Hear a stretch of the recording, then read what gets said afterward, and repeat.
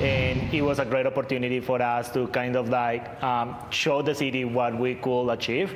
Uh, unfortunately, that didn't last very long. These Calgary photographers opened this space in the start of 2020, hoping to make a difference in the city's creativity scene. But the pandemic has rerouted their plans. We opened February 20th uh, here in this new location on Mount Royal uh, Village East.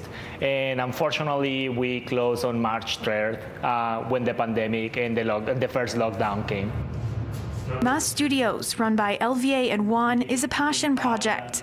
But having been open for just a month when the pandemic hit, there was a rush of joy at the same time the world was on edge. Literally, this is our baby. Like, it was uh, seeing our dream come to life. Before the pandemic, Mass Studios' clientele was fashion focused model agencies, that's uh, designers, and any other aspects related to fashion, and that relies strongly on services such as uh, makeup artists, hair artists, and uh, also a team that requires a lot amount of people uh, being together and close to, to each other. But with those doors being shut, other ones have opened for the industry as many businesses try to push their products online. And that's a great part of what we do as well now, and it's e-commerce, right? So we, we're moving to uh, yeah, have our clients sending us their products so they don't have to be in here, and most of the times we don't even need a, a model to be here to sell the products, right? And that's because we need it to be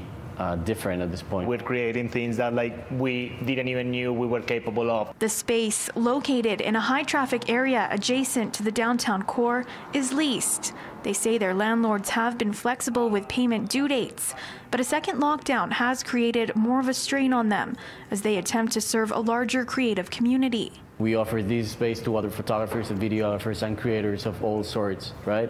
And they haven't been able to come in here either because their teams can't get together. But despite a difficult year, their goal still remains to expand Calgary's growing art scene by providing more local studio space. Calgary is going up like so fast and like we're building up such a wonderful community. There's so many people working towards the same goal. In Calgary, Taylor Brott, City News.